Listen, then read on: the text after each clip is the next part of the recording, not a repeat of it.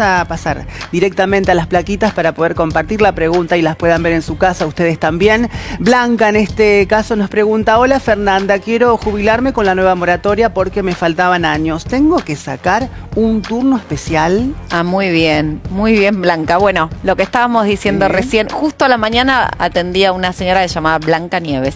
Así que le dije, ¿cómo ah, te dicen Blanca? Ah, bueno. Qué, eh, Sí, sí, bueno. Eh, a ver podés sacar un turno para asesoramiento, para el plan de pago de deuda previsional, podés venir el día que cumplís 60 años, porque ese día venís sin turno, podés sacar un turno para jubilarte si tenés absolutamente todo claro si tenés los 30 años de aportes, cuántos te faltan, cómo va a ser tu plan de pagos, digamos, tenés distintas opciones.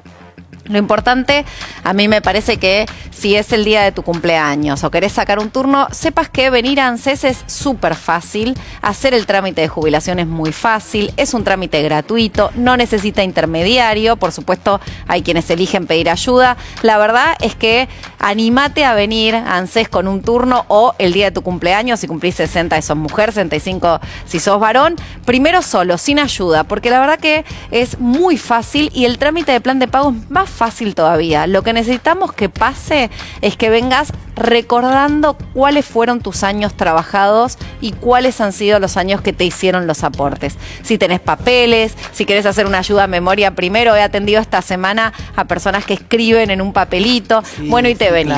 Sí, y nosotros ahí en nuestra, en nuestra computadora tenemos tu historia laboral, sabemos perfectamente dónde trabajaste. A veces puede ser que falte algún año que no nos figura y entonces en el diálogo entre el iniciador, que así se llama el trabajador que toma el trámite de jubilación, que inicia la jubilación, y la persona, el ciudadano, podemos ir averiguando si te falta algo más que en nuestras eh, computadoras no figura. y de esa manera... De rastreo. De rastreo. y de esa manera empezás eh, tu trámite de, jubilación. Así que, Blanca, eh, te estamos esperando, con los brazos abiertos, en nuestras oficinas, más de 420 oficinas en todo el país.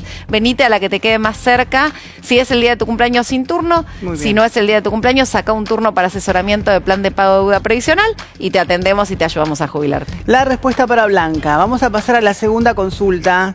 ¿Quién nos escribe? Carlos, cobro la jubilación mínima y el mes pasado me pagaron un adicional de 15 mil pesos. ¿Este mes lo vuelvo a cobrar? Muy bien, Carlos, por la pregunta, porque es una pregunta que nos hacen mucho en las oficinas. Esta semana estuve mucho en las oficinas. Es un, un bono, un refuerzo en los ingresos de los jubilados. Todos los jubilados tuvieron su aumento trimestral. Cada tres meses hay un aumento.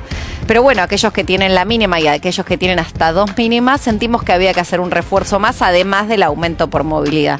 Y esos 15 mil pesos son 15 mil pesos un mes, dos meses, tres meses, marzo, abril y mayo. Hasta el próximo aumento trimestral que veremos cuánto va a dar el aumento con la fórmula de movilidad. Veremos si ese aumento nos parece que es un aumento suficiente o hay que volver a hacer un refuerzo. De esta manera fuimos acompañando el bolsillo de los jubilados en la Argentina.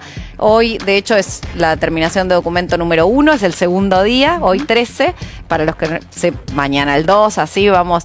Y, bueno, y los jubilados de la Argentina pueden, que tienen la mínima, pueden cobrar estos 15 mil pesos porque tomamos la decisión de hacer un, esfuerzo más para que ese refuerzo en el bolsillo de los jubilados nos permita seguir creciendo. Vos sabés que cuando llegamos la jubilación mínima estaba muy abajo y había que aumentarla. Cambiamos la fórmula de movilidad para recuperar esa capacidad de compra. Y bueno, y además fuimos poniendo bonos que como son sistemáticos, son todos los meses, de verdad significan un, no es un bono ocasional, digamos, todos los meses 15 mil pesos en los últimos tres meses desde la última eh, fórmula de movilidad, así que es, importante que, sepamos que estamos haciendo desde antes este enorme esfuerzo en pensar cómo hacemos para estar a la altura de las expectativas y de las necesidades de los jubilados y jubiladas de la Argentina. Muy bien, gracias Fernanda. Entonces para Carlos ya está respondida a su consulta, vamos a la siguiente. Valentina dice, yo ya cobro la beca. Me dijo mi amiga que tengo que volver a inscribirme para seguir cobrando. ¿Es así? Muy bien, Valentina. Si cobrabas la beca el año pasado, tenés que volver a inscribirte. Hay tiempo hasta el 16. Si ya te inscribiste este año... Ya falta poquito, ¿eh? Sí, sí.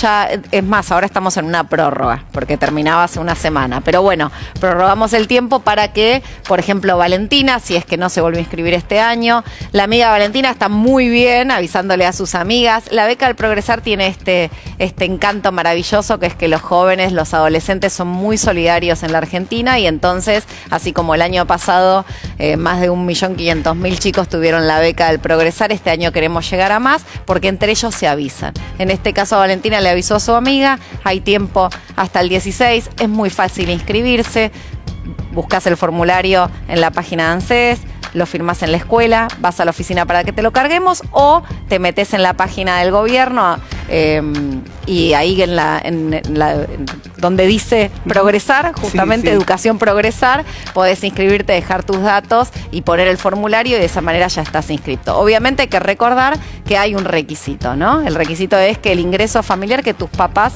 reúnan menos de tres salarios mínimos vitales y móviles y por eso es, es importante que se inscriban todos. El filtro después lo hará el sistema viendo cuáles son tus ingresos familiares. Si tenés menos de tres salarios, está muy bien que pidas una, una ayuda al Estado porque es un momento complicado y está bueno que el Estado te dé una beca para poder estudiar. Desde los 16 años, terminar la escuela secundaria, hasta los 24 años, incluso quienes están yendo a la universidad puedan sentirse acompañados por ANSES es muy importante, así que muy bien la amiga de Valentina que estuvo ahí asesorando y avisando. estamos, entonces, respondida para Valentina. Rapidito vamos a pasar a la siguiente consulta, en este caso Romina. Hola, quiero saber qué tengo que tramitar por mi embarazo. Estoy de cuatro meses. Ahora cobro asignación universal por hijo por mi nena de dos años. Muy bien, Romina, felicitaciones por el embarazo. Estás de cuatro meses, ya debes tener algún control. Con ese control puedes venir a ANSES con el formulario firmado por el médico y gestionar tu asignación por embarazo.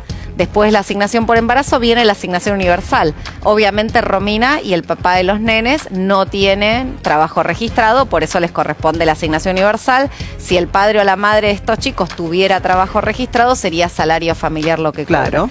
Eh, la asignación universal para las embarazadas es una asignación que se cobra durante nueve meses, se cobra a partir de presentar los, los controles los controles del obstetra. Es muy importante para ANSES que los controles médicos estén hechos. Se van pagando mes a mes durante nueve meses el 80%. Para Romina fácil porque la UH es igual y ya cobra por su nena de dos años el 20% cuando nace tu bebé.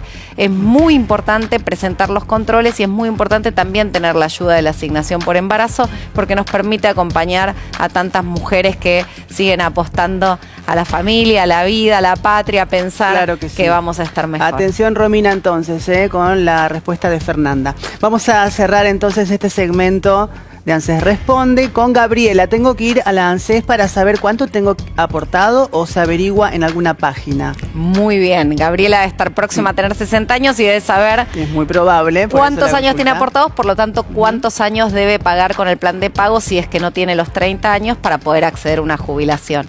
Porque el plan de pago te permite eso, saldar tu deuda, tu deuda con el Estado en concepto de aportes y contribuciones y poder acceder a una jubilación.